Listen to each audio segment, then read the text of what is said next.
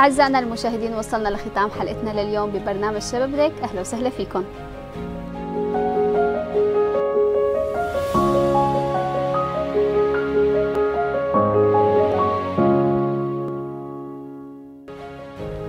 بتاريخ 9 تموز من العام الجاري بشعار نحو مستقبل يصنعه الشباب تم افتتاح المؤتمر التأسيسي لاتحاد الطلبة السوريين الأحرار في مدينة إسطنبول التركية. بحضور عدد من المنظمات والمؤسسات المعنية بهذا المجال ليكون أول هيئة منتخبة بتمثل عشرات الآلاف من الطلاب السوريين حول العالم. ما أهداف هذا المؤتمر وما هي أهم القضايا يلي تم طرحها؟ خلونا نشوف هي اللقطات من المؤتمر ونرجع نبدأ حوارنا.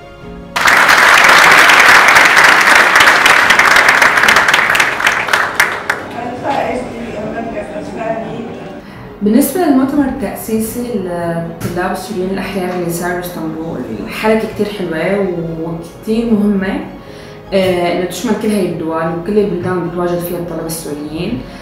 بتوقع أهم شيء بالنسبة لهذا المؤتمر فعلا يقدر يكسب ثقة الطلاب السوريين وبنفس الوقت يساعد الطلاب السوريين الموجودين بكل مكان حتى يكملوا تعليمهم حتى يقدروا يتميزوا وينجحوا بجامعاتهم. من وجهة نظري هو خطوة رائعة جدا. آه، تتيح الفرصة مستقبلا للقادة الشباب بتغيير أفضل نحو المستقبل وإعادة تفعيل دور الشباب بتغيير مسار الثورة السورية نحو الأفضل تحقيق أهداف هذه الثورة اللي ضاعت بسبب آه، إبعاد واستقصاء دور الشباب من هذه الثورة. وجود اتحاد طلابي يضم كل الطلاب السوريين الأحرار أو المنتمين للثورة. هو حاجة ماسة وضرورة كان لازم ينشغل عليها من زمان. آه، فإذا نظرنا لكل الثورات أو بكل حركات التغيير اللي صارت في كل مكان في العالم وجود هيك أجسام أو هيك اتحادات كان ضرورة ملحة. في الحقيقة عندما سمعت أنه سيؤسس تفاءلت كثيرا وقلت علها بادرة خير لأنه لابد من وجود هكذا اتحاد يلوم الشمل ويوحد الصف. ولكن كما نعلم أن الاتحاد نظم مسابقات للطلاب آه، بهدف التشجيع لهم على حد قولهم. وكانت آه، النتائج المسابقات في يوم التأسيس صادمة للغاية. فالمعروض عنه في المسابقات أن هناك مركز أول ومركز ثاني ومركز ثالث وفي كل مركز فيه جائزة مالية محددة ولكن في عرض النتائج يوجد الكثير من المسابقات التي لم يكن فيها مركز أول بحجة عدم وجود المعايير.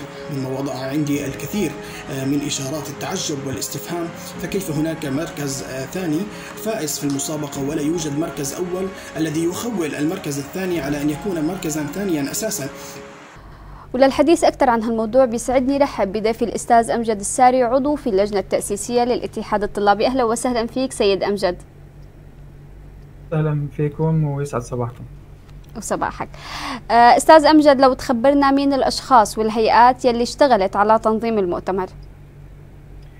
نعم في البداية أبارك لزملاء الطلاب في الداخل السوري وفي دول الشتات آه، تأسيس اتحاد الطلبة السوريين الأحرار. الذي نأمل بأن يكون آه، صوتا لجميع الطلاب السوريين في داخل سوريا وفي آه، خارجها. هذه الخطوة التي انتظرناها حقيقة لسنوات والآن بدأت تتحقق. بالنسبة للجهات التي عملت أو اشتغلت على هذا المؤتمر هي الهيئة التأسيسية التي تشكل يعني النواة الرئيسية لاتحاد الطلبة السوريين الأحرار المؤلفة من عدد من الاتحادات الطلابية في الداخل السوري وأيضا في دول الشتات هذه الاتحادات هي من نظمت هذا المؤتمر وعملت طيلة الفترة الماضية على آه، تنظيم كل هذه الأمور حتى وصلنا اليوم إلى المؤتمر التأسيسي الذي تم من خلاله الإعلان عن تأسيس اتحاد الطلبة السوريين الأحرار.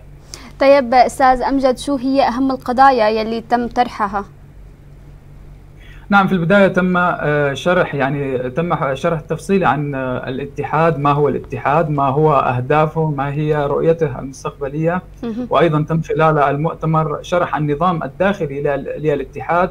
والإجابة عن آه، الكثير من الأسئلة التي كانت تتبادر إلى أذهان يعني الطلاب عن يعني ماهيه يعني الاتحاد وكيف شكل ومن يمثل وبعض الأمور التوضيحية. يعني المؤتمر تضمن عدة فقرات من بينها كان آه، كما ذكرنا فقرة النظام الداخلي فقرة الإجابة على الأسئلة وأيضا تم آه، خلال المؤتمر عرض آه، فيديو وثائقي قصير تضمن يعني الحراك الطلابي في سوريا تاريخ الحراك الطلابي في سوريا منذ الستينيات وحتى اليوم.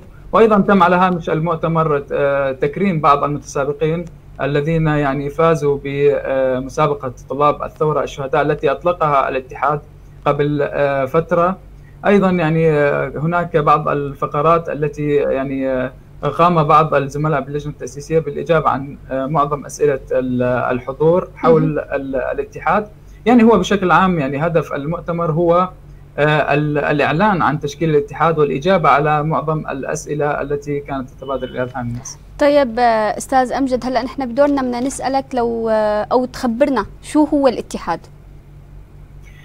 نعم في البداية سأتحدث أنا عن الاتحاد بشكل تفصيلي ومن ثم سأتحدث عن مراحل يعني تشكيل الاتحاد كيف تمت وإلى أين وصلنا. أه لكن الاتحاد سيد هو منظم.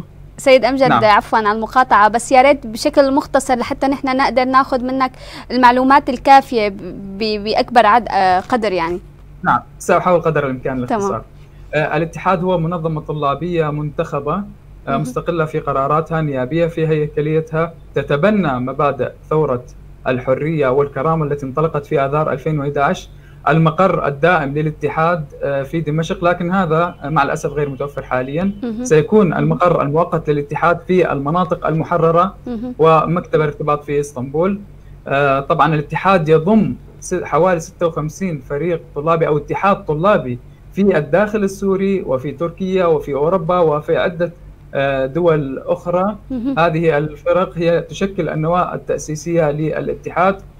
طبعا يهدف الاتحاد إلى جمع الفرق الطلابية المنتخبة من أجل تنسيق الجهود فيما بينها بما يخدم مصالح الطلاب المادية والمعنوية وأيضا يهدف الاتحاد إلى تنمية الدور الشباب الجامعي السوري في المجتمع. طبعا أريد فقط يعني أن أوضح نقطة مهمة ربما لم تصل إلى الطلاب بشكل صحيح.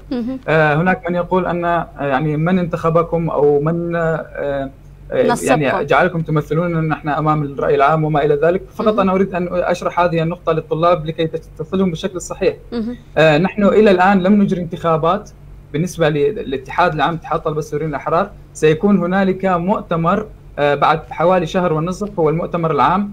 ستجري فيه انتخابات للفرق الطلابية المنضمة للاتحاد المقصد بكلمة منتخب هنا هي أن الفرق الطلابية المنضوية تحت الاتحاد التي انضمت إلى الاتحاد هي اتحادات منتخبة من قبل طلابها. في كل جامعة يوجد اتحاد معين، هذا الاتحاد يجري في كل سنة دورة انتخابية هو اتحاد منتخب من قبل طلابه.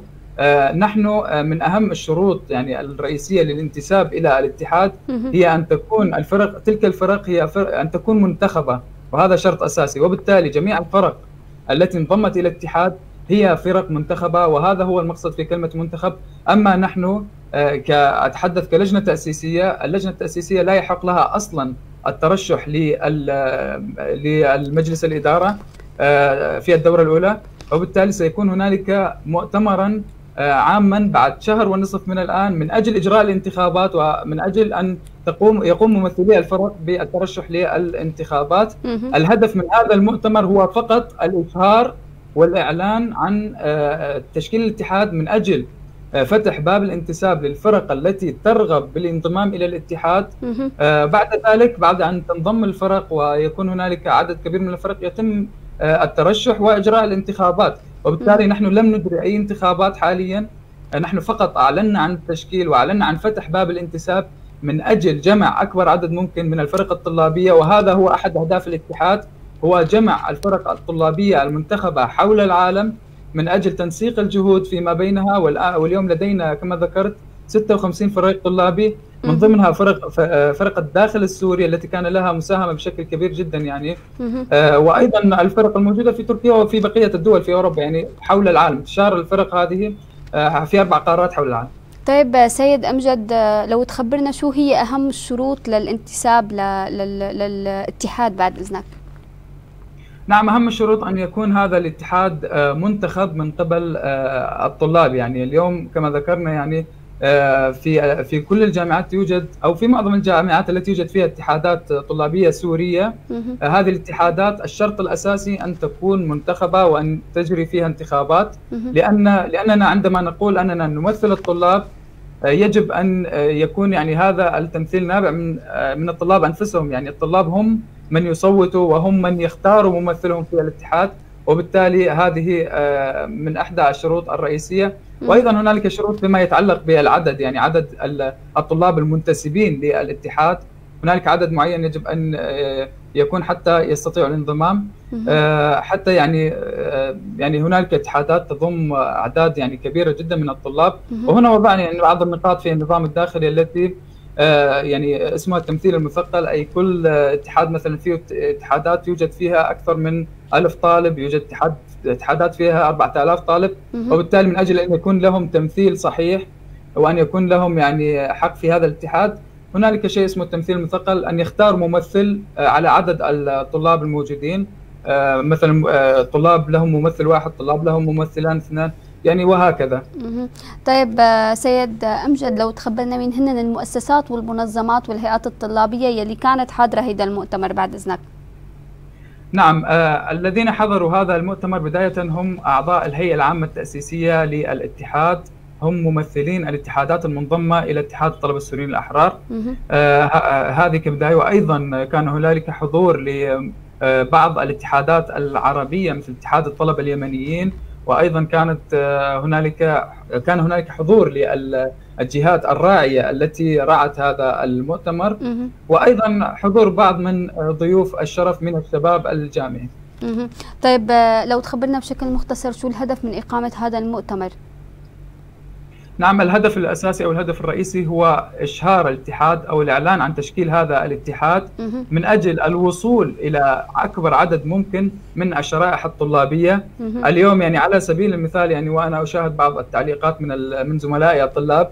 البعض يقول أننا لم نسمع بكم من قبل وما إلى ذلك من كلام. آه، ردي على زملاء الطلاب أننا آه، هدفنا من هذا المؤتمر الوصول إليكم طالما أنكم تقومون بالتعليق وأنكم سمعتم أن هنالك اتحاد للطلاب فأعتقد أننا حققنا هذا الهدف لأن هدفنا فقط هو الوصول إلى الشرائح الطلابية من أجل أيضا فتح باب الانتساب آه، نحن أيضا يعني شرحنا. بشكل تفصيلي وكامل ما هو الاتحاد وما هي رؤيته وكيف وصلنا إلى آه، ما نحن عليه آه، وبالتالي هدفنا الأساسي هو إعلان تشكيل الاتحاد والإشهار. وأيضا فتح باب الانتساب للفرق الطلابية المنتخبة لأن هذا شرط أساسي من أجل الانضمام إلى اتحاد الطلبة السوريين الأحرار. طيب سيد أمجد شو هي أهم النتائج يلي طلع فيها هذا المؤتمر؟ بس بدك تخبرنا عن هذا الموضوع بأقل من دقيقة بعد إذنك. نعم يعني النتائج هي آه، اولا آه، يعني هنالك بعض ال- ال- الطلاب لم تكن لديهم فكرة كافية عن الاتحاد. بعد آه، المؤتمر أعتقد أنهم تكونت لديهم فكرة أو تصور توضحت كامل عن نعم صورة كاملة عن ال- الاتحاد وأهدافه ورؤيته وبعض الأمور المتعلقة يعني ب كيف وصلنا إلى هنا أو من هم أعضاء الاتحاد أو كيفية الانتساب إلى الاتحاد. كل هذه النقاط والأمور تم الإجابة عليها. آه، وأيضا يعني ال- الطلاب اليوم آه، الذين لم يسمعوا بالاتحاد أو آه، كما هم يقولون اليوم سمعوا بهذا الاتحاد والاتحاد موجود ويرحب بجميع ال- الاتحادات أو الفرق الطلابية الموجودة ضمن الجامعات حول العالم يرحب بانضمامهم جميعا من أجل أن نوحد جهودنا نحن كطلاب يعني في الفترة الماضية كان هنالك بعض التشتت للفرق الطلابية وهذا أثر على العمل الطلابي السوري وبالتالي نحن أحد أهدافنا هو توحيد العمل الطلابي حتى يكون مؤثرا في جميع الأحداث الاجتماعية والوطنية. أستاذ أمجد بدي أتشكرك على هي المشاركة اللطيفة. من حضرتك وبالتوفيق لكل الطلاب السوريين. شكرا جزيلا لكم. عفوا. أعزائنا المشاهدين صار وقت إني ودعكم بشوفكم الأسبوع الجاي بمواضيع هامة وشيقة. لا تنسوا تتابعونا عبر المعرفات الظاهرة أسفل الشاشة. إلى اللقاء.